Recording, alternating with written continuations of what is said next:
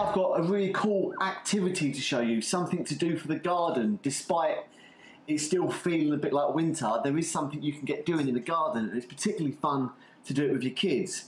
Now moss, absolutely love moss. It's a really nice plant to have in the garden and it's great for invertebrates and insects and of course other things that will look for those invertebrates and insects in there to eat. And I'm going to show you how to grow this around your garden, in particular on plant pots and on rockeries. And it just makes the place look a lot greener. So what you need is some moss, some natural yogurt, a spray mister bowl, a paintbrush, scissors, bowl and a spoon. And here's a good place to get some moss. Good places to get your moss uh, in like woodland or off your off the roof of your house or in your garden. But a really good place is down here at the old hoverport site. There's loads of moss carpeting the ground and it's just all loose on the floor because birds have been pecking at it. Lily, get my shop. Come on. Because birds have been pecking at it so to, to find invertebrates to eat. So the old hoverport site is a great place to get the moss.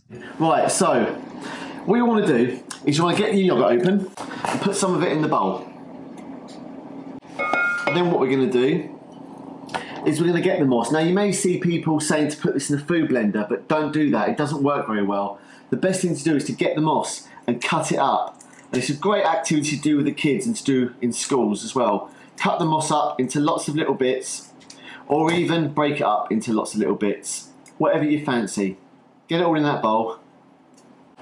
So once you've got all that moss in there, you need to give it a good old stir. Stir that moss into the yogurt. Get it nice and around. And the way this yogurt works is it helps to spread it around and get all the broken down moss nice and even.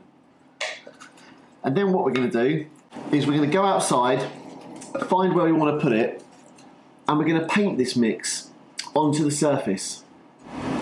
So here I've got a dry stone wall I've built next to my pond and this is what I want to encourage moss to grow all over it because it'll look really nice. So I've got my mix now and what I'm simply going to do is just wherever I want it to grow I'm going to just paint it onto the blocks like this. It's really nice to do and you can see where you've painted it. Get big clumps of the moss as well and get it all in there.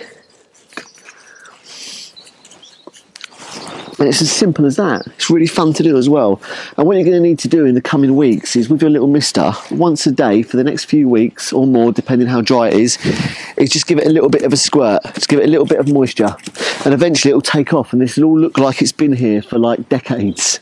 So while lots of people are out there jet washing moss off their roof or off their driveway, here we are painting it on.